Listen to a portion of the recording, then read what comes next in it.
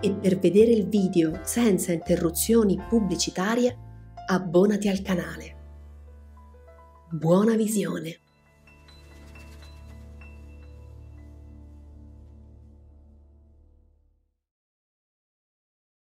Il genere si manifesta in ogni cosa e su tutti i piani. Ogni cosa ha il suo principio maschile e femminile. Questo principio ci dice che in ogni cosa c'è un genere. Ovunque troviamo il maschile o il femminile. Tutto questo vale, oltre che per il piano fisico, anche per quello mentale o spirituale. Quanto al piano fisico, il principio ha la sua evidenza nel sesso, mentre nei piani superiori, pur assumendo forme più elevate, rimane invariato.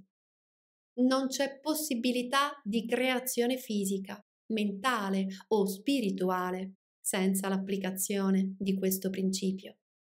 Comprenderlo significa dare un raggio di luce ad argomenti fino ad ora oscuri alla maggior parte dell'umanità. Esso opera sempre rivolto alla creazione, generazione e rigenerazione. Tutto è fondato su questo principio.